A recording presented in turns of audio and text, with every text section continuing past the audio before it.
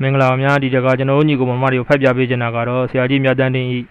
မမဆိုတဲ့ဝိတုဆောက်ကလေးကျွန်တော်ဖတ်ပြပေးချင်ပါတယ်ခင်ဗျာအဲ့တော့ကျွန်တော်ရင်တော့ပြောထားရတာပေါ့နော်မောင်ငါလုံးကျွန်တော်ဖတ်ပြမယ်ဆိုပြီးညီကိုမမကြီးပြောထားပါတော့မေရမီရမှုရမမရမြိုင်ရပေါ့နော်အဲ့မှာကျွန်တော်မေရမီရမှုရကျွန်တော်ဖတ်ပြီးသွားပါပြီအခုကျွန်တော်မမကိုဖတ်ပြပေးပါမယ်ခင်ဗျာအဲ့တော့မမကိုဖတ်မပြခင်မှာကျွန်တော်တို့ညီကိုမောင်မကြီးထဲမှာပေါ့နော်ဒီ ဒီဟာနဲ့ပတ်သက်ပြီးဒီဝိထုနဲ့ပတ်သက်ပြီးနားထောင်ပြီးသားညီကိုမောင်မကြီးလည်းရှိတာပေါ့နော်ဖတ်ဖူးပြီးသားနားထောင်ဖူးပြီးသားညီကိုမောင်မကြီးလည်းရှိပါတယ်အဲ့တော့ဖတ်ဖူးပြီးနားထောင်ပြီးသားညီကိုမောင်မကြီးဆိုလည်းပြန်လဲနားဆင်ပြီးတော့တွေးတော့ပေါ့နော်စမြုပ်ပြန်လို့ရတာပေါ့အဲ့တော့မဖက်ရသေးတဲ့ညီကိုမောင်မကြီးနားထောင်ဘူးတဲ့ညီကိုမောင်မကြီးတွေဆိုလဲကျွန်တော်အဲတင်ဆက်ပေးတာပေါ့နော်စာကောင်းပေပုံလေးတွေစူးစမ်းပြီးကျွန်တော်တင်ဆက်ပေးခြင်းဖြစ်ပါတယ်ခင်ဗျာအဲ့တော့မြတ်တာစိတ်ပြေဝဖြင့်နော်နားလည်းနားဆင်ပေးကြတော့ကျွန်တော်ညီကိုမောင်မကြီးကိုကျေးဇူး အထူးတင်ရှိပါတယ်ခင်ဗျာကျွန်တော်အခုမမကိုစပြီးတော့ဖတ်ပြပါမယ်နော်မမကတော့သူကအပိုင်းအောင်တော့9ပိုင်းနဲ့ရေးထားတာပေါ့နော်အပိုင်းတစ်ပိုင်းချင်းစီတစ်ပိုင်းချင်းစီမှာသူကအခန်းနေရှိတာပေါ့နော်အဲ့တော့ကျွန်တော်တစ်ပိုင်းချင်းစီတစ်ပိုင်းချင်းစီတစ်ခန်းချင်းစီကိုကျွန်တော်အဲတည်တည်ချာချာဖတ်ပြပေးပါမယ်ခင်ဗျာနားဆင်ပေးကြပါဦးခင်ဗျာပထမဆုံး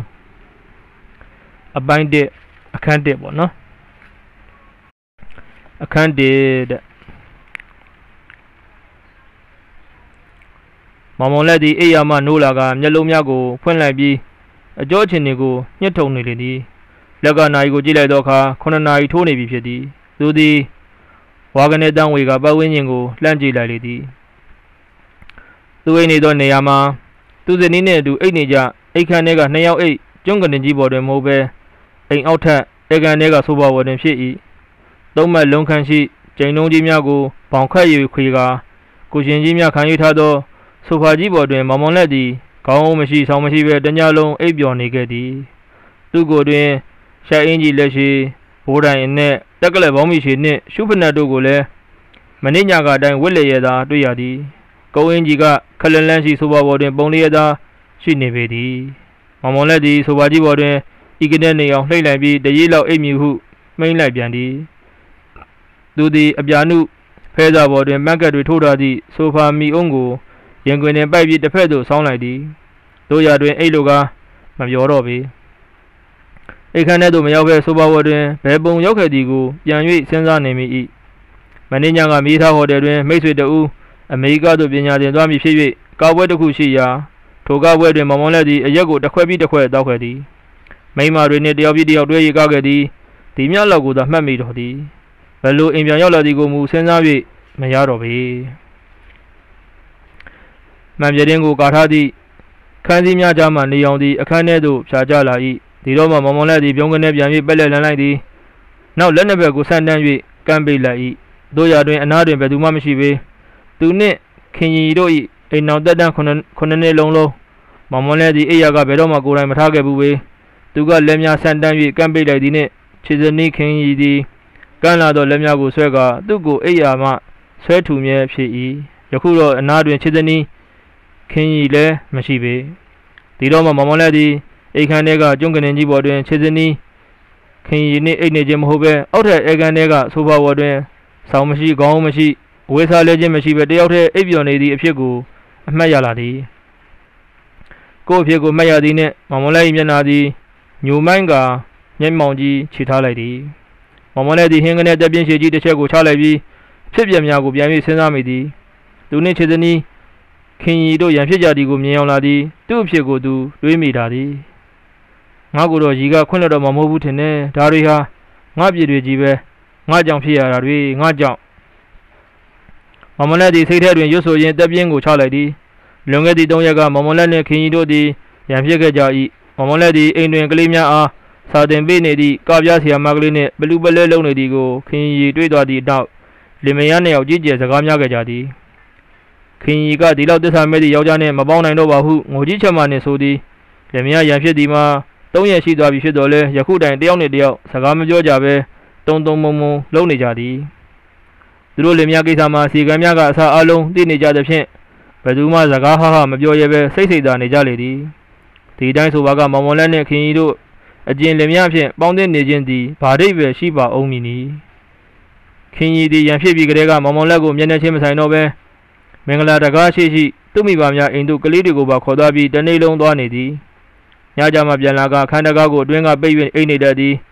ကလေးများမှာအကွတ်ထိန်မရှိ ဖြစ်ချင်တိုင်းဖြစ်နေကြသည်ဒရိုင်ဘာလင်များနှင့်ထမင်းကျက်လင်များတို့ကလည်းရန်ဖြစ်နေကြသည်ကိုရန်ဖြစ်နေကြသည်မှာတရင်လုံးကဘာပြတ်တဲ့ကဲ့သို့ပေသည်ရန်ဖြစ်သည့်နေ့ကမမလက်သည်မီတာဟိုတယ်တွင်ဝီစကီနှစ်ခွက်လောက်တောက်ပြီးခင်ရီနှင့်ကလေးတွေစားရန်ခရုခေါက်ဆွဲကြော်ထုတ်လေးတုပ်ဝယ်လာခဲ့သည် ကားကိုကိုတောင်ထဲသို့အတွင်းခိုင်းပြီးအိမ်ထဲသို့ဝင်လာခဲ့၏ခါတိုင်းဆိုလျှင်ခင်ရီသည်တကိုယ်လုံးမှွေကြိုင်အောင်ခြေသားကသူ့ကိုတကားဝါမှနှုတ်ဆက်လေးရှိ၏တို့ရတွင်ယနေ့တော့တိုက်ရှိကပြီးလက်တကားမှပိတ်ထားကတော့ကလောက်ကြီးခတ်ထားသည်အစီကံမလေးကလာဖွင့်ပြီးတော့မှအထဲသို့ဝင်ခဲ့ကခင်ရီကိုလိုက်ရှာသည်နောက်ဆုံးကြတော့ခင်ရီသည်အိတ်ခမ်းထဲကကရင်ပေါ်တွင်မှောက်လျက်ငိုနေသည်ကိုတွေ့ရ၏ခင်ကြီးလက်ထက်တွင်တော့ဆီယာမကမမောင်လက်ထံသို့ပေးသောစာရွက်ပြာကလေး ဒါကဘာလဲမမောင်လက်ကအိယာပေါ်တွင်မှောက်၍တရှုံးရှုံငုံနေသောခင်ကြီးကိုချော့မိပြုတ်တွင်ခင်ကြီးကအော်လိုက်၏ခင်ကြီးတမတင်းမာလာသည်သူ့မျက်လုံးများမှာဒေါသကြောင့်ဝင်းဝင်းတောက်နေ၏ဒီနောက်တော့တယောက်တစ်ခွန်းစကားများကြသည်မှာတအိမ်လုံးစီစီညံသွားလေသည်မမောင်လက်သည်အမှန်ကိုဖွင့်၍ဝန်ခံကာခွင့်လွှတ်ရန်တောင်းပန်ရမည်စားဘူးကွယ်ကသူ့ကိုယ်သူပြင်းထန်ကာကွယ်သည်လက်စုပ်လက်ကမိထားလျက်နှင့်မမောင်လက်ကဆွညင်းသောအခါပို၍ဒေါပွာလာ၏ ငကိုကစိတ်ထရသည့်ထက်တွင်လင်ယောက်ျား၏တစ္ဆာမဲ့ဆုံးတစ္ဆာမဲ့ပုံကိုလက်စုပ်လက်ကမိထားလျက်ကဇိုအတင်းခံရင်းနေသည်ကိုတွေ့ရတဲ့ဖြင့်ရန်အိုးလိုပေါက်ကွဲထွက်လာကအိယာပေးစပွဲပေါ်ကဆက်လက်ပြကွဲဖြင့်လှမ်း၍ပေါက်လိုက်သည်အဆောင်ကောင်း၏မမောင်လက်တွင်အထီးခိုက်မရှိခြင်းဖြစ်ပေ၏ဒီကလေးကခင်းရည်သည်မမောင်လက်နှင့်စကားလည်းမပြောမျက်နှာချင်းလည်းမဆိုင်ပဲနေခဲ့ခြင်းဖြစ်ပေသည်ချမ်းမြေသာရသောအိမ်တော်များတွင်မူပျော်ရွှင်ခြင်းသည်တောင်းတိုင်းမှပေါ်လာတတ်၍ ချမ်းမြေသာရခြင်းမရှိသောအိမ်တော်တိုင်းမှာကဆင်းရဲခြင်းသည်တောင်းတိုင်းမှပေါ်လာတတ်ပေသည်ခွင့်လွှတ်ဖို့တောင်းပန်ရကောင်းမလားသူမိဘသူမိဘတွေအိမ်သွားခေါ်ပြီးရှင်းပြရရင်ကောင်းမလားမိကိုများသည်မမွန်လက်၏အုံနောက်ကိုတတောက်တောက်တီးခေါက်နေကြ၏တို့ရတွင်ဘာကုမှအဖြစ်မရပေမမွန်လက်သည်စိတ်ပြက်လက်ပြက်နှင့်သပွဲပေါ်ရှိရွန်စီကရက်ဘူးတဲ့ကစီကရက်ဒလိတ်ကိုဆွဲ၍ဖာရှိုက်နေလေသည်တဲ့ ဒီကခန်းနှစ်ပေါ့နော်ဘိုင်းတဲ့ခန်းနှစ်ပေါ့မမလက်ဒီစီကရက်ကိုဖာရှိုက်ရင်ကိုကိုကိုပြန်လည်စစ်စစ်နေမိသည်တကယ်ဆိုတော့သူကိစ္စသည်ခင်ကြီးအဖို့မိမတယောက်နေဖြင့်ခွင့်လွှတ်စရာမကောင်းသည်မှာအမှန်ဖြစ်၏သူ့အပြစ်ကိုသူလည်းဖော်ရမတွက်ခြင်းပေသူ့အပြစ်သည်သူ့လူအလွှာမှတမန်ယောက်ျားတို့မှားယိုမှားစဉ်ကိစ္စတည်းရဟုလဲသူ့ကိုယ်သူမလိမ်ခြင်းပေသူ့လိုခန်းညား၍ကြက်တည်ရှိသောအသက်30မြာသာရှိသေးသည့်ယောက်ျားတစ်ယောက်သည် သူ့ထက်တစ်နှစ်မြာသာငယ်၍ကလေး3ယောက်၏မိခင်ခင်ကြီးလိုမိမတယောက်နှင့်လင်ကန်းမယားကန်းပြက်ဆဲကွာရှင်းကြဖို့ရန်ကလည်းမဖြစ်နိုင်သေးပေတကယ်ဆိုတော့ခင်ကြီးသည်နှုတ်နှင့်ချောမောတုံးဖြစ်၍ရင့်ကျက်သောအလှ၏တရဖူကိုစောင်းထားစေရဖြစ်၏ယခုလိုအိမ်တော်ရင်းနှင့်စိတ်မချမ်းမြေစရာတွေပေါ်ပေါက်လာခြင်းမှာဘယ်သူပြမှာမဟုတ်လှပနှုတ်နယ်သောခင်ကြီးကိုကြိုးခိုင်းကဖောက်လဲဖောက်ပြန်ပြုသောသူ့ပြစ်တာဖြစ်၏ခင်ကြီးမတိအောင်ဖုံးကွယ်ခြင်းမပြုနိုင်သောသူ့အပြစ်သာဖြစ်၏ သူဖောက်လဲဖောက်ပြန်ဖြစ်နေကြောင်းခင်ကြီးတန်တရားဖြစ်နေသည်ကိုလုံးဝမသိသောသူ့အပြစ်သာဖြစ်လေ၏မောင်မောင်လည်းသည်သူ့အပြစ်ကိုသူတွေးမိကာခင်ကြီးနှင့်ကလေးတွေကိုတနာလာသည်သို့သောဖြစ်ပြီးသားမှုဘာမှမတတ်နိုင်တော့ပြီအကောင်းဆုံးမှာဖြစ်ပြတွေကိုမေ့ပြလိုက်ရန်သာဖြစ်လေသည်ထို့ကြောင့်မောင်မလက်သည်လေးကိုအာရပါရရှူရှိုက်လိုက်ပြီးပြတင်းပေါင်နာသို့ရှောက်လာခဲ့သည်ဇပွဲဘော်ကဆေကန်ခေါ်သည့်ခေါင်းလောင်းကလေးကိုနှိပ်လိုက်ပြီးပြတင်းပေါက်ကိုဖွင့်လိုက်သည် အစီကန်ဖိုးရွှေရောက်လာလေသည်ဖိုးရွှေသည်မောင်မောင်လက်ဤအိမ်တွင်အစီကန်လည်းဟုတ်၏မောင်မောင်လက်ဤရုံးတွင်မင်းစေလူလင်လည်းလှုပ်လေသည်ဖိုးရွှေသည်လုံကြီးအင်ကြီးများနှင့်ကျင်းနှန်းစာတစ်စောင်ကိုကင်လာလေသည်ရုံးကလှုပ်လေပါလာသည်သလားဟိမောင်မောင်လက်ကဖိုးရွှေလမ်းပေးလိုက်သောကျင်းနှန်းစာအိတ်ကိုဖွင့်ရင်းမေးလိုက်သည်ဆရာစပွဲပေါ်မှာတင်ထားပါတယ်ဆရာမောင်မောင်လက်သည်တန်ကျိုးစာအိတ်ထဲမှစာအိတ်ကိုဖွင့်ကာကောက်ဖက်လိုက်သည်သူ့မျက်နှာမှာဝင်းထိန်သွားသည်ဟုထင်ရပေ၏ဖိုးရွှေကြီးမနေ့ပြန်မမရောက်လာလိမ့်မယ်ဟေ့ ဟုတ်ကဲ့ဆရာဖိုးရွှေကလက်နှစ်ဘက်ကိုနောက်ပြက်ကကိုကိုရို့၍ပြော၏မမရောက်လာလင်သူ့ဆရာလင်မြ၏ပြဿနာမှာပြေလည်သွားနိုင်ပွဲရှိသည်ထင်လေ၏မမတယောက်ထဲလာဆရာကြီးမင်းကြီးပါဦးမလားကျင်းတန်းထဲမှာတော့သူတယောက်ထဲလာမယ်လို့ဆိုတာပဲမင်းမမကြီးစီကိုသွားပြီးအခန်းတစ်ခန်းပြင်ထားဖို့ပြောကြည့်မမကြီးဖိုးရှိကအံ့အားသင့်သလိုပြောလိုက်ပြီးမှအချိန်တက်ခါဆက်မပြောပဲရပ်နေ၏ရော့ရော့ကျင်းနှန်းစာရွက်ကိုလည်းယူသွားပြီးပြလိုက် သူရှင်းခိုင်းတဲ့ခန်းကိုရှင်းပြလိုက်မင်းတယောက်ထဲမနိုင်ရင်အေးရှင်တို့လေများကိုခေါ်ဖိုးရှိသည်ကျင်းနှန်းစာရွက်ကိုကိုင်ကအပေါ်တက်သို့တက်သွားသည်မောင်မောင်လည်းမှပြတင်းပေါက်တွင်စီးကရက်ကိုဖွာလျက်ကြံရစ်ခဲ့သည်ခဏကြာလင်ကျင်းနှံစာရွက်ကိုကင်လျက်ဖိုးရွှေဆင်းလာသည်မမကြီးကသူတမင်းကတော်တို့အိမ်လဲသွားမလို့တဲ့ဆရာဘာသာစီစဉ်မှုဖိုးရွှေစီရှေ့ဆက်မပြောရပဲစကားကိုရပ်ထားလိုက်သည်သူကောင်းကိုအောက်သို့ငုံဆိုင်ပြထား၏ဒါဖြင့်အပေါ်တက်ကခန်းတခန်းရှင်းထားလိုက်။အော်ဖိုးရွှေ မာရီချိုးကျင်နေဖိုးရွှေကမျက်နှာသို့ဘဝဆက်ပြကွယ်စားသည်တို့ကိုအစဉ်သင်းပြင်ပေးလေလင်မမောင်လက်သည်အောက်ထက်ရေချိုးကန်းထဲသို့ဝင်လာခဲ့သည်ရေချိုးကန်းနံရံကိုပြောင်းလဲအောင်ကြွေရီတုတ်ဤတာချန်ကြောက်ပြားများစီ၍ထားပြီးကျွေစလုံးထက်တွင်မှန်တစ်ချက်ချိတ်ဆွဲထားသည်ခလန်လန်းကကျွေရင်လုံးကြီးတော်တင်မူဖိုးရွှေအစဉ်သင်းဖွင့်ပေးထားခဲ့သောကြောင့်ရေမှာပြည့်ရှံနေသည်မမောင်လက်သည်ဝယ်မင်ဘီတောင်ကိုယူ၍မုတ်စေရိပ်ရန်ဆက်ပြဖြင့်ပုတ်လိုက်ပြီးမုတ်စေရိပ်နေသည် မန်ထဲမှသူ့မျက်လုံးများသည်သူ့ကိုမေကွန်းထုတ်နေသည်ဟုထင်ရသည်သူ့ပြကိုသူတဖြည်းဖြည်းသဘောပေါက်လာသည်တို့ရာတွင်ခင်ရီမှာစိတ်ဆက်သူဖြစ်သည်စိတ်ဆိုးမိလင်တော်တော်နှင့်မပြေတတ်သောမိန်းမတစ်ယောက်ဖြစ်သည်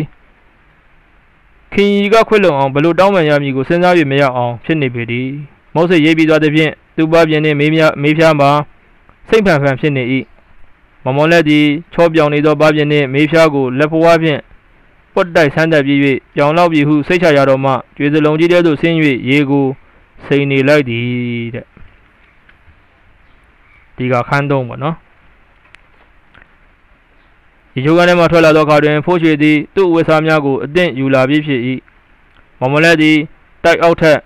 ဧကန်ထဲမှပင်ဝက်စားများကိုလဲလိုက်သည်ရုံးတက်ချိန်နီးပြီဖြစ်၍စာချင်းကိုအစင်သစ်လှုပ်ထားရန်နှင့်ကားထုတ်ထားရန်တို့ကိုဖိုးရွှေအားတစ်ဆက်ထက်ခိုင်းပြီး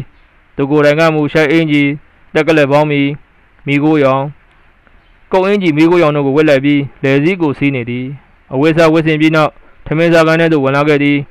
ထမင်းစားကန်းထဲတွင်ခင်ရီကိုလည်းမတွေ့ရတမိနှစ်ယောက်ကိုလည်းမတွေ့ရပေခါတိုင်းဆိုရင်နက်နက်ကော်ဖီတောက်ချိန်ထမင်းစားချိန်ဆိုရင်ထမင်းစားကန်းထဲသားမိသားဖတွေတတိုက်တဝင်းကြီးရှိကြစမြဲဖြစ်၏မန်ဘီဘော်တွင်ဆင်ဆွယ်ခွေရတင်ထားသည့်မောင်ကလေးကိုအစီကံတယောက်ကတီးလိုက်သည်နှင့်မောင်မောင်လက် ခင်ရီနှင့်ကလေးတွေကိုစာတင်ပေးသောဆရာမလေးနှင့်တကွကလေးများပါရောက်လာကြကစပွဲတင်ဝိုင်းထိုင်လေးရှိကြသည်ယခုတော့ဘယ်သူမှမရှိဘဲမောင်မောင်လက်တယောက်တည်းဟာ၍နေသည်မောင်မောင်လက်သည်ဟာလာဟင်းလင်းဖြစ်နေသောထမင်းစားကန်းကြီးကိုမြင်လိုက်ရသဖြင့်ရင်ထဲမှဟာသွားသလိုတော့ရှိလေသည်ခင်ရီသည်သူနှင့်မတွေ့အောင်တမင်ဆောင်သေးခြင်းဖြစ်ကြောင်းသိသဖြင့်စိတ်ပြေနေရာကဒေါသထောင်းကနေထွက်လာကစပွဲတွင်ဝန်ထိုင်လိုက်သည်စပွဲပေါ်တွင် ကော်ဖီခရားလက်ဖက်ရည်ပကံပေါင်မုံလွာများ ထည့်ထားသောပကံထောပြထဲသည့်ငွေအစ်ဓားနှင့်ခရင်အစုံမကြက်တကြက်ကြော်ထားသောကြက်ဥကျော်လေးလုံးတက်တော်သည်နှင့်ငှက်ပြောသည်သုံးလေးလုံးထည့်ထားသည့်ပကံပြားများကိုတွေ့ရသည်မမလည်းသည်စိတ်ထဲမှဟာတာတာရှိသည်နှင့်ရုံးစာချင်းနှင့်သူ့အတွက်ရောက်နေသောစာများကိုဖိုးချွေကယူခိုင်းလိုက်ပြီးကော်ဖီတောက်ရင်းဖတ်နေသည်စားတစ်စောင်းမှာမတရားမှဆန်ဆက်ပိုင်တဦးထံမှစာဖြစ်သည်ထိုစာမှာခင်ဤဘက်မှအမွေရသော မတရားတဝိုက်မှလည်းများကိုသူ့အားရောင်းပါရန်ရေးလိုက်သောစာဖြစ်၏ခင်ဤသည်မတရားဘက်တွင်လေယာမြေဧက900လောက်ကိုအမွေများရလိုက်လေသည်တို့ရတွင်ဆိုရ၏လည်းမြေလေယာမြေပြည်သူပိုင်ပြုလို့ရေးဥပဒေကြောင့်၎င်းတပုံများကြောင့်၎င်းတည်စားကမရသည်မှာကြာလပြီဖြစ်၏သူတို့ကိုယ်တိုင်ကလည်းခေပညာတတ်များဖြင့်ကြည်ပြင်းလာကြပြီးအစိုးရရာရှိများဖြစ်နေပေရာလယ်မြေကိစ္စကိုရောင်းပြခြင်းဒီမှာကြာပြီဖြစ်၏တို့ရတွင်ပြည်တွင်းစစ်ကြီးနှင့် အစိုးရ၏လေယာမြေပြည်သူပိုင်ပြုလုပ်ရေးဥပဒေကြောင့်ဝယ်သူမရှိခဲ့ပဲဒီတိုင်းပင်ပြစ်ထားခဲ့ရသည်ယခုမတရားဆန်ဆဲပိုင်ရှင်ကလယ်မြေများကိုဝယ်ရန်ဇကာကမ်းလန်းလာသည်ကိုတွေ့ရသောအခါအံ့အားသင့်နေပေသည်ယခုလိုမြေရှင်များပြားမြေယာတွေကိုဆွန့်လွတ်နေရသောချိန်တွင်ဘာစိတ်ကူးနှင့်ဝယ်သည်ကိုစဉ်းစားမရအောင်ဖြစ်နေသည်ဥမမောင်လည်းမှာဆိုရရာရှိကြီးဖြစ်နေသည်ဖြင့်လယ်များကိုကြည့်ဆိုင်ခြင်းမရဟုသိရသည့်အတွက်ယခုကဲ့သို့ကမ်းလှမ်းခြင်းဖြစ်ပါသည် ယခုကဲ့သို့ဒီသားကမရဘဲဆွန့်ပစ်ထားသည့်တူတူတင့်လျော်သောနှုံရလင်းရောင်းလိမ့်မည်ဟုမျှော်လင့်ပါသည်အကယ်၍ရောင်းမည်ဆိုပါကစကားပြောဆိုရန်ကျွန်တော်မန္တလေးသို့ဆင်းလာပါမည်မောင်မလက်သည်စာကိုတေချာသောဖက်နေ၏လယ်များကိုဈေးကြောင်ကြောင်နှင့်ရလိမ့်မည်ထင်ဖြင့်ရေးလိုက်သောစာဖြစ်သည်အမှန်ကတော့မောင်မောလက်တို့ကလည်းမတရားတဝိုက်မှလယ်မြေများကိုရောင်းကျင်နေသည်မှာကြာပြီဖြစ်၏သူတို့စေကူမှာမတရားဘက်မှလဲကိုအစိုးရကပြည်သူပိုင်မသိမီအလင်းမြန်ရောင်းချပစ်လိုက်တာ ခင်ရီမြေဖြစ်ညီမတွေစူပေါင်းကကန်ထိုက်လုပ်ငန်းကြီးတစ်ခုလုပ်လို့သည်သို့မဟုတ်သွင်းကိုလုပ်ငန်းကြီးတစ်ခုလုပ်လို့သည်သို့မဟုတ်ခင်ရီဖခင်ကြီးလုံနေသောမုတ်ပလင်ဘက်မှကွာရီတဲတွင်ရှယ်ယာထည့်လို့သည်တို့ရတွင်ယခုလောလောဆယ်ချိန်၌မောင်မလက်နှင့်ခင်ရီတို့စိတ်ဆိုးမပြေပြန်ပေါင်း မထုတ်သေးသည်များတော့ဒီเจ้าတွေကိုစဉ်းစားနိုင်မည်မဟုတ်သေးပေဒီစာကိုပြ၍ခင်ရီနှင့်စိတ်ကြရေးစကားပြောကြလင်လဲဒီယုံမြင်၍ဒီချောင်ထွင်သည်ဟုအထင်ရောက်ခံရမည်ကိုစိုးရင်ရသေးသည် ထို့ကြောင့်ဒီကိစ္စကိုစိတ်ကူးတဲ့မထက်နိုင်သေးပဲဘေးဖယ်ထားလိုက်ရသည်စာတွေကိုဖတ်ပြီးနောက်စာချင်းတွေကရုံးစာတွေကိုကောက်ဖက်လိုက်သည်တစောင်းမှာညုံနယ်တစ်ခုမှတောင်သူလယ်သမားဖွဲ့စည်းတစ်ခု၏ခေါင်းဆောင်တစုကလယ်သမားများအားထုတ်ပေးသည့်အမတော်ကြီးငွေများကိုဖျက်စားသည့်အစီရင်ခံစာတစ်စောင်ဖြစ်သည်နောက်တစ်စောင်းမှာပဒင်ကြီးမန္တလေးပြည်တော်သာလန်းဖောက်လို့ရေးနှင့်ပြည်တော်သာကျောင်းများဆောက်လို့ရေးအတွက်တင်သွင်းသောလျှောက်လွှာဖြစ်သည် မောင်မလက်ဒီစာများကိုအောက်မှမှတ်ချက်များရေးကကော်ဖီကိုဆက်၍တောင်းနေ၏ကော်ဖီတောင်းရင်လက်ထဲလက်ဝဲသတင်းစာတစ်စောင်ကိုဖတ်နေသည်သတင်းစာကောင်းကြီးပိုင်းကနုအတလီစာချုပ်တွင်စီးပွားရေးမလွတ်လပ်မှုများကြောင်းပါဝင်ကြောင်း ECA DCA နှင့်ကိုလံဘိုစီကံစီမံကိန်းများသည့်အမေရိကန်နှင့်ဗြိတိရှတို့ကစီးပွားရေးနယ်ပယ်များကိုလက်ဝါးကြီးအုပ်ထားရေးအတွက်လမ်းဖွင့်ပေးသောစာချုပ်များစီမံကိန်းများသာဖြစ်ကြောင်းနိုင်ငံခြားကူးသန်းရောင်းဝယ်ရေးတွင်ဗြိတိရှဗန်များကလက်ဝါးကြီးအုပ်ထားသဖြင့် တိုင်းရင်းသားရင်းရှင်တို့ပြက်ပြက်လာရကြောင်းဗြိတိရှဗန်များကြောင့်မြန်မာငွေကြေးစနစ်တွင်အကြက်တက်တွေ့လာကြောင်းထို့ကြောင့်ဗြိတိရှနှင့်အမေရိကန်တို့၏လက်ဝါးကြီးကိုလုပ်ငန်းများကိုတားဆီးရန်အတွက်အမျိုးသားညီညွတ်ရေးလိုကြောင်းမျိုးသားညီညွတ်ရေးရရှိရမှာပြည်တွင်းစစ်ကိုစိတ်ဆက်ဆွေးနွေးသည့်နေ့ဖြင့်ရက်စဲမှသာဖြစ်နိုင်ကြောင်းစသည်ဖြင့်ရှေလျားသောဝေဖန်ကအစိုးရအားပြင်းထန်စွာတိုက်ခိုက်ထားလေသည်မောင်မောင်လက်တွင်နိုင်ငံရေးယုံကြည်ချက်မရှိပေမြည်သည့်နိုင်ငံရေးပါတီတစ်ခုဘက်မှကိုမှလည်းရိမ့်ရန်ခြင်းမရှိပေ သူသည်လာကထောင်ကျော်ရသောအုပ်ချုပ်ရေးရာရှိကြီးတဦးသာဖြစ်၏ထို့ကြောင့်နိုင်ငံရေးဝါဒများကိုလေးလေးနက်နက်မစင်စားခဲ့ခြင်းဖြစ်၏သူယူဆ၌ဘယ်ဆိုရတဲ့အစိုးရရာရှိတဦးသည်အစိုးရ၏ဝါဒအတိုင်းလှုံ့ဆော်ရမည်သာဖြစ်လေသည်တို့ရတွင်မဖုံးမကွယ်ဝဲဆိုရသောအာနာယဖသဗလဆိုရ၏ပါတီဘက်သို့အနှဲငယ်တော့တိမ့်ညွတ်ပေသည်တို့တိမ့်ညွတ်ရတွင်လည်းမမော်လက်မှနိုင်ငံ၏ဝါဒကြောင့်တိမ့်ညွတ်ခြင်းမဟုတ်ဘဲသူ့ဘဝချင်းတွေကြောင့်တိမ့်ညွတ်ရခြင်းသာဖြစ်သည် သူသည်1950ပြည့်နှစ်တွင်ဝိဇ္ဇာဘွဲကိုရရှိခဲ့ပြီးမြန်မာနိုင်ငံဝန်ထမ်းအကြီးဆံဝဲကိုပထမတုပ်တွင်အောင်မြင်ခဲ့ကာအလုတ်တင်မှနယ်ပိုင်ဖြစ်ဆင့်ဆင့်ဆောင်ရွက်ခဲ့ကြပြီးနောက်နှစ်နှစ်ငယ်အတွင်းမှာပင်ခရိုင်တွင်ကြီးဆုံးသောအုပ်ချုပ်ရေးရာရှိတဦးဖြစ်သို့ရောက်ရှိလာခဲ့သည်။ရင်းတို့ထိတ်တန့်ရာရှိကြီးဘွားတို့လင်းများကရောက်ရှိခဲ့ခြင်းမှာအာဏာရပါတီခေါင်းဆောင်တချို့၏ထောက်ခံချက်ကြောင့်သာဖြစ်ပေရာရေးကြုံလာသောအခါမမွန်လဲသည်အစိုးရရာရှိတဦးပြီးပြီးဘက်မလိုက်ဘဲဆောင်ရွက်ရမည်ဖြစ်တော်လဲ အာဏာရပါတီဘက်သို့တိမ့်ညွန့်ပြီးပြီးသားဖြစ်နေပေသည်။မမွန်လဲသည်သတင်းစာကောင်းကြီးကိုဖတ်ပြီးနောက်နောက်တစ်ခွက်တောက်ရန်ကော်ဖီခရကိုငှဲ့လိုက်သည်။ဧကန်ပဲ့စီမှသမီးကြီးချိုချိုနှင့်သားငယ်မိုမို၏အတန်ကိုကြားရလေသည်ဟဲမိုမိုကကောင်းမှုဟဲနင်ကယထာကိုမိုင်းဖုံးခဏခဏမထောင်ရဘူးဟဲချိုချို၏အတန်ဖြစ်၏မောင်မလက်သည်မျက်လုံးမြူကထမင်းစားကန်းဝတ်မှထွက်၍သူတို့ကိုလန့်ခေါ်လိုက်လေသည်ကလေးနှစ်ယောက်မှတံမက်နှင့်သွားသောမိသား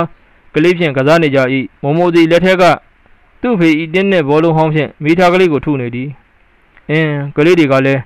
ကြံကြံဖန်ဖန်ဆော့တက်ကုန်ပြီဘာမှထိန်ကုန်မရှိတော့ဘူးမောင်မလက်ကစိတ်ထဲမှာညှဉ်းညူလိုက်လေသည်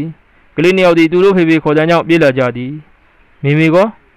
မောင်မလက်ကသားငယ်ကိုပွေ့ချလိုက်ပြီးတမိကိုလက်ဆက်ကထမင်းစားကန်းထဲသို့လှည့်ဝင်လာရင်မေးလိုက်သည်မိမိအိတ်နေတယ်ချိုချိုကဖြေ၏ညကကောင်းကောင်းမှအိပ်ပျော်ရလာဟုစိတ်ထဲတွင်ထင်ကနေဖြစ်သွားသည်မိမိနေကောင်းရင်လားသမီးချိုချိုသည် ဖေဖေနှင့်မိမိရန်ဖြစ်ကြသည်ကိုသိပြီးဖြစ်၏သူ့ဖေဖေနှင့်မိမိစကားပြောကြသည်ကိုလည်းသိပြီးဖြစ်၏ထို့ကြောင့်သူ့ဖေဖေကိုကြည့်ပြီးမိမိနေမကောင်းဘူးတဲ့တမိတို့ကိုလည်းစားကြက်ရမယ်လို့မခိုင်းတော့ဘူးတီချယ်လည်းမရှိတော့ဘူးမိမိကကိုပေါ့အောင်ကိုကောင်းမောင်းပို့ခိုင်းပြီးမိမိကြီးတို့အိမ်သွားကြတဲ့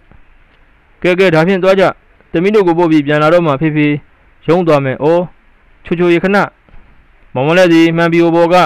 ချောကလက်ထုတ်ကိုယူ၍ပေးလိုက်သည် ချောကလက်ထုတ်မှာရံဖြစ်သည့်နေ့ကလေးကကလေးတွေဖို့ဝယ်ခဲ့ခြင်းဖြစ်တော်လဲမေ့၍မပြေးဖြစ်ပဲယခုတိုင်ရှိနေခြင်းဖြစ်၏ဆရာဧည့်သည်လာတဲ့ဖိုးချေကခန်းဝတင်လာရက်၍ပြောလိုက်သည်ဘယ်ကဧည့်သည်လဲကွရုံးကိစ္စဆိုရင်ရုံးကိုလွတ်ပါလို့ဘယ်နှခါပြောရမလဲဖုန်းကြီးနှစ်ပါးဆရာအကျိုးဆောင်တန်ခါဖွဲ့ချုပ်ကားတဲ့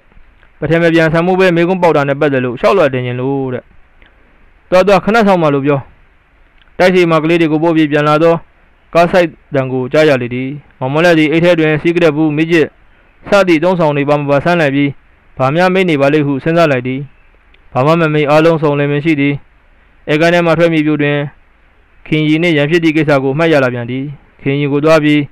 ချုံမော်ရကောင်းလိမ့်မလားဟုစဉ်းစားမိပြန်သည်သူကမှလင်ကိုကလည်းတင်းမိဆိုသောမာနစိတ်ကလေးကတလူလူကောင်းပြူလာပြန်သည်တို့ရတွင်ကိုကိုကအမှားကိုကျူးလွန်ထားသူဖြစ်တဲ့ဖြင့်အပြက်ပြက်နဲ့နှာခေါင်းသွေးထကြမည်ဆိုရင် ကိုတာဝန်ဖြစ်နေမည်လားဟုဆိုရင်လာသည်နောက်ပြီးသူလိုထိတ်သည့်ရာရှိကြီးတယောက်၏အိမ်တော်၏ပြိုလဲသွားမည်ဆိုရင်အတိုင်းဝိုင်းတွင်အမဲဆက်ကြီးတစ်ဆယ်ဖြင့်ထင်ကြံရက်ခဲ့မည်ကိုလည်းဆိုရင်လာသည်မောင်မောင်လက်သည်ပါဇက်တဲ့တွင်ခဲထားသောစီးတဲ့ကိုစီးကတဲ့ကိုနှစ်ဖွာခန့်ဆက်တိုက်ဖွာရှိုက်လိုက်ပြီးဇပွဲဘော်ကကနုကမာပြာကန်ကွက်တဲ့သို့ထိုးချေကအပေါ်တက်အိတ်ခမ်းထဲသို့ဝင်ခဲ့လေသည်တဲ့ဒီကအခန်းလေးပေါ့နော် ခင်ရည်သည်အိတ်ခမ်းထဲကအဝတ်ထက်ဗီယိုကြီးကိုဖွင့်ကာတစုံတစ်ခုကိုရှာနေသည်ခန်းထဲတွင်ပစ္စည်းများမှပြန့်ကျက်နေ၏ကလထိုင်ပေါ်တွင်မောင်မောင်လက်၏ညဝိအင်ဂျီများမှပုံလိုက်ကြနေသည်ခင်၏ညဝိအင်ဂျီမှာဂရေမော်ချေရင်တွင်တင်ထားသည်ခြေနှောင်းမှာချထားလျက်ပင်ရှိသည်ဘရိုဂိတ်လုံကြီးများမှအထက်လိုက်ထက်လိုက်ကလထိုင်များပေါ်တွင်တင်ထားသည်ခင်းရည်တွင်ဘရိုဂိတ်လုံကြီးများဆယ်တာစင်လောက်ရှိမည်ဟုထင်ရသည်ခင်းရည်သည်သူမျက်နှာဆုံးဘရိုဂိတ်လုံကြီးတွေကိုရွေးထုတ်ပြီးအိမ်ပြောင်းသွားဖို့များ စိတ်ကူးနေသလားမသိပေခင်းရည်မှာဝက်စားလဲပြီးဖြစ်၏လေဒီဟမ်မီတန်အင်ဂျီလေဒီဟမ်မီတန်လုံကြီးကိုဝတ်ထားပြီးအခန်းထဲတွင်စီးသည့်လွှာချင်းဖက်နှက်ပပကလေးကိုစီးထား၏ဆပင်ကိုခက်မြင့်မြင့်ထုံထားပြီးရွှေပြီးအသေးကလေးကိုစိုက်ထားသည်ဆန်ရွယ်များသည်ဝါဝင်းသောလက်ကုပ်ပေါ်တွင်ဝဲကြနေကြသည်မောင်မောင်လက်သည်ပလုံများကိုဝါဝင်းချောမွနေသောပခုံးနှစ်ဖက်ကို၎င်းငွယ်ရှင်များလိုလှုပ်ရှားနေကြသောဣဆက်သည့်လက်မောင်းများကို၎င်း ဖြိုးမောင်နေသောကိုယ်ထဲပိုင်းတေးသွက်ကြစ်လက်သည့်ခါနှင့်ပိုးပြော့လုံကြီးတဲ့တွင်ထင်ရှားစွာပေါ်နေကြသော ကားဆွင်သည့်တင်ပါများနှင့်ဣဆက်လုံးချောသောပေါင်နယ်များကိုနောက်မှနေ၍တိုင်းချုံကြည့်လိုက်သည်ရန်ဖြစ်ပြီးကလေးကခင်းကြီးသည်မိဘအိမ်သို့ဆင်းသွားမည်ဟုတကယ်ကဲလုံနေသည်မောင်မောင်လက်အားသူ့အပြစ်အတွက်ဒဏ်ခတ်ခြင်းသည်တို့ရတွင်ဖြစ်ချင်ရာဖြစ်ချေတော့ဟုပြက်ပြက်ဆဲဆဲလုံရဲသည်မဟုတ်ပေတကယ်တော့ခင်းကြီးသည်သူ့လင်ကိုမမုန်းနိုင်သေးပဲချင်းမြဲချစ်လျက်ပင်ရှိ၏ သူမိဘများအိမ်ဆင်းသွား၍မေးလာမြန်လာလုပ်လင်လဲသူတို့ကိစ္စမှာဖွင့်ပြမပြောအပ်သောကိစ္စဖြစ်နေသည်ယခုလိုဆင်းသွားမည်ဟုဟန်ရေးပြနေခြင်းမှာမဖြစ်နိုင်မှန်းသိလျက်ကိုကိုကိုလိန်နေလိန်လည်နေခြင်းများသာဖြစ်သည်ယောက်ျားကလာရွေးချုပ်အောင်ဟန်ဆောင်နေခြင်းများသာဖြစ်ပေသည်။အမောင်လိုက်ခြေတံကိုကြားသဖြင့်ခင်းရည်သည်လှည့်၍ကြည့်လိုက်သည်။သူ့မျက်လုံးများမှာဝင်းဝင်းတောက်နေကြသည်။မျက်နာမှာဒေါသကြောင့်ပန်းနုသွေးလျှံ့နေပေသည်။ခင်းရည်သည်တစ်ချက်မှကြည့်လိုက်ပြီး ဗီယိုအန်ဆွဲကိုလိုသည်ထက်ပို၍တအားဆွတ်ဆောင်လိုက်ပြီးတစုံတရာကိုရှားနေပြန်သည်။ရီမမလက်ကမရတဲ့ဖြင့်ခတ်တူတူခေါ်လိုက်သည်။ကောင်းကိုတမင်ငုံထားလိုက်ပြီးတနာစရာတွင်ဖြစ်အောင်လုံနေလိုက်သည်တို့ရတွင်ရမိုးချိုးပြီးတတရဝစ်စားထားသဖြင့်သူ့တွင်ပြန်မှာလန်းဆန်းနေသည်ဟုထင်ရပေသည်သူ့မှာတော့ပြောလို့ငါမှသာစိတ်ဆင်းရဲနေရတာမထူးဘူးသွားမယ်သူနဲ့မနေတော့ဘူး ခင်ကြီးကစိတ်ထဲမှာပြောနေခြင်းဖြစ်သည်နေရသောနှုတ်ခမ်းကလေးများသည်တရွရွတုံလာကြသည်မောင်မောင်လက်ကိုမြင်တော့ဒေါသတွေမီလီယံလိုတောက်လာလေသည်ရီမောင်မောင်လက်မေးတဲ့တန်းဘာလဲခင်ကြီးကခက်ဆက်ဆက်ထူးလိုက်၏ခင်ဤကိုမှကိုရရင်ဝင်းနှံ့သည်တတင်းတင်းပြန်လာ၏ဆွဲမဲ့စရာကောင်းသောယူပါယုံ၏အင်အားကိုဂန္ဓာယုံအင်အားကစစ်ကူစစ်ကူဖြည့်ပေးလိုက်တဲ့ကဲ့သို့ရှိပေသည် အစင်းနဲ့နှမ်းကြောင့်မောင်မောင်လိုက်၏စိတ်သည်ပို၍ပြောပြောင်းလာသည်ထင်ရ၏ဒီနေ့မမရောက်လာလိမ့်မယ်သူ့ဘာသာသူရောက်တာရီနဲ့ဖာဆိုင်တယ်လဲရီမေမေတို့အိမ်သွားနေမယ်မတွေ့ကြဘူးရီဒီလိုမျိုးပါနဲ့ကွယ်မမကိုရီတွေ့မှဖြစ်မှာပေါ့အိုးမတွေ့ဘူးမတွေ့ဘူးသွားခင်ကြီးကသူ့ကိုမကြည့်ပဲအော်ပြစ်လိုက်သည်ခင်ကြီးမှာမချိမဆန့်ဝေဒနာကိုခံစားနေရသူလိုဖြစ်နေ၏သူမျက်နှာထားတို့မှလည်းမောင်မောင်လက်ပေါ်တွင်ဒေါသမပြေသေးကြောင်းသက်သေပြနေသည် မောင်မောင်လက်ကတတွေးကိုတစ်ချက်ညှိုလိုက်ပြီးရေရဲရီတီလိုထင်ရာရှောက်လို့ရင်အဆက်တကွဲဖြစ်ကုန်ပါလိမ့်မယ်မောင်မပါကွယ်မောင်တောင်းမှန်ပါတယ်ရီတီရဲ့အတိုင်းခင်ကြီးကခါကိုထောက်၍သူ့ဘက်သို့လက်ကဆက်ခနဲကြည့်လိုက်တဲ့ဖြင့်မောင်မောင်လက်မှာရှေ့ဆက်မပြောဘဲရပ်နေသည်အတန်ကြာတော့မှရီကျင်းနဲ့အောင်မောင်တောင်းမှန်ပါတယ်ကွယ်မောင်ကိုပြည့်ကျင်တဲ့ပြည့်ပေးပါနော်ရီ၄၅၆နှစ်ပေါင်းတင်လာပြီးမှမောင်ဘက်ကခုလိုမတော်တဆဘာလဲ တနာကြောထားတာကိုမတော်တဆလို့ပြောဦးမလို့လားတော်ပြီတော်ပြီရှစ်ကျမကိုတောင်းမှန်မနေနဲ့ရှစ်တနာကြောထားတာတွေကိုလည်းမကြားချင်ဘူးခင်ကြီးကအော်ဟစ်လိုက်ပြီးအာကုံကပန်းသွားဟန်ဖြင့်ဘရိုဂိတ်လုံကြီးထက်လိုက်ကိုတင်တင်ထားသည့်ကလထိုင်နောက်မိကိုလက်နှစ်ဖက်ဖြင့်ကင်ထားလိုက်သည်သူနှလုံးမှာတတိတိခုန်နေသည်အသက်ရှူတမ်းမှမြန်၍ပြင်းနေသည်လက်ဖြာများကလည်းအေးဆက်နေကြပေသည်ရှင်ဒီလို ရှင့်လိုကိုချင်းတရားကိုမဆောင်ထိန်နိုင်တဲ့ရာရှိကြီးတွေအုပ်ချုပ်တဲ့တိုင်းပြည်မှမပြည့်စည်ရင်ဘယ်တိုင်းပြည်ပြည့်စည်ဦးမှာလဲခင်ကြီးကနှုတ်ခမ်းကိုမဲ့ပြီးတမင်လှုပ်၍ရဲလိုက်၏တော်ပါတော့ကြီးရေကိုမပါတယ်ကိုတောင်းမဲ့ပါတယ်လို့ကြီးကိုထက်ထက်ပြောပြီးပြီမဟုတ်လားဒါကိုကြီးကမကျေနပ်ဖဲအိမ်မောကဆင်းသွားမယ်ဆိုရင်ဘယ်ချေရောက်မယ်ဆိုတာကြီးလဲစဉ်းစားကြည့်ပါဦးကြီးရဲ့ကိုကိုမုန်းလို့ဆွတ်မြင်နေနေထားပါဦးဖေဖေတို့မိမျိုးတို့နဲ့ကလေးတွေမျက်နှာကိုထောက်ဖို့ကောင်းပါတယ် ကိုကုံကိုငဲ့ညာဖို့ကောင်းပါတယ်မောင်ကိုခွင့်မလွတ်နိုင်လို့ဆင်းသွားရင်ကလေးတွေမျက်နှာငယ်ကြတော့မယ်အပြစ်ရှိတဲ့မောင်ကြောင့်အပြစ်မရှိတဲ့ကလေးတွေစိတ်ဆင်းရမယ်ဆိုရင်မကောင်းပါဘူးကြီးရဲ့ကြီးမကျင်းတဲ့ရင်မောင်ကိုပေးခြင်းနဲ့ပြေးပေးပါမောင်တောင်းမှန်ပါတယ်ကြီးဒီလိုဆင်းသွားတဲ့အကြောင်းရင်းကိုမိတ်ဆွေတွေသိသွားရင်မောင်လဲရှက်ကွဲကြီးလဲရှက်ကွဲတစ်မျိုးလုံးရှက်ကွဲလိမ့်မယ်ပြီးတော့သတင်းစာတွေကတော့ရေးကြတော့မယ်။အိုးအကုန်လုံးအဆက်ကွဲကုန်ကြလိမ့်မယ်ကြီး။ ခင်ရင်ဒီဘာမှမပြောတော့ပဲကလထိုင်ပေါ်တွင်အယုတ်ကျုပ်ပြက်ထိုင်ချလိုက်သည်။ပြီးမှနှုတ်ခမ်းကိုတမင်မဲလိုက်ပြီး။ဩရှင်ကကလေးတွေတဲ့ထည့်စင်စားသေးတကူ။ထားတော့ကတော့ကလေးတွေအကြောင်းထည့်မစင်စားပဲခုမှကလေးတွေအတွက်ပူပန်ဆိုးရင်နေရသလား။ဟွန်းဟွန်းရေစရာကောင်းလိုက်တာ။ဒီမှာရှင်ကလေးတွေပူတယ်ဆိုတာကျမပူတာထက်ဆယ်ပုံပုံတပုံတော့မရှိဘူးဒီကလေးတွေကိုကျမကမွေးထုတ်ထားရတာပါခါတိုင်းဆိုရင်ခင်ကြီးကမောင်ဟုခေါ်၍သူ့ကိုယ်သူရီဟုပြောလို့ရှိ၏ ယခုတော့ရှင်တခွန်းကျမတခွန်းဖြင့်ရင်းသီးစွာပြောနေသည်မောင်မောင်လက်သည်ဘာမှမပြောဘဲကလထိုင်လက်တင်ပေါ်တွင်တင်ထားသည့်ခင်ကြီးလက်ကိုလှမ်းဆွဲလိုက်သည်ခင်ကြီးကအထိမခံမဲ့လက်ကိုရုပ်ပစ်လိုက်ကကလေးတွေရှင်းအတွက်ကလေးတွေတဲ့ရှင်းပူတယ်ဆိုတာကျမအိတ်နေသလောက်ပဲရှိတယ်ခုမေမေတို့အိမ်ဆင်းသွားဖို့ဆုံးဖြတ်တာလဲကလေးတွေတဲ့ပူလွန်းလို့သိလားတစ္ဆာမဲ့တဲ့အဖေရဲ့ကလေးတွေအလီလိုက်တဲ့ဖေးရဲ့ကလေးတွေလို့အခေါ်မခံခြင်းလို့ဆင်းသွားတာသိပြီလား ရှင်နဲ့တူတူနေရင်ကလေးတွေပါအကျင့်စာရိတ္တာတွေပြက်ကုန်နေမယ်ကြီးစမ်းမအောင်အိမ်မှာမယားကြီးငုတ်တို့ရှိရနဲ့ကလေးတွေစာတင်ပေးတဲ့ဆရာမနဲ့ဖြစ်မိအောင်ဖြစ်လိုက်သေးတယ်ကြီးရဲ့မောင်တောင်းမှန်ပါတယ်ကြီးကျင်နဲ့အောင်မောင်ဘာလို့ရမလဲလို့သာပြောပါမောင်ပြစ်ကိုမောင်ဝန်ခံတာတော့မှကြီးမကျင်တဲ့မကျင်နိုင်သေးဘူးလားမောင်မောင်လကအကွဲဆွေးမြေတန်းကြီးဖြင့်ပြောလိုက်၏ခင်ကြီးဖြစ်ကိုကြည့်၍၎င်းဗမြဖြစ်တာသည့်လင်မယားရန်ဖြစ်ထားသည့်၃ရက်အတွင်းဖြစ်ချင်တိုင်းဖြစ်နေကြသောကလေးတွေဖြစ်ကိုစဉ်းစား၍၎င်း မမုံလက်မှစိတ်မကောင်းဖြစ်နေသည်ဒီလောက်ခင်ကြီးကခါခါတီးတီးဖြစ်နေသောအခါဝမ်းနေရည်လာကမျက်ရည်တွေဝိတ်၍လာပေသည်ခင်ကြီးကမျက်ရည်တွေဝိတ်နေသောမမုံလက်ကိုလှမ်းကြည့်ကလှောင်ရည်ရည်လိုက်ပြီးဟွန်းဟွန်း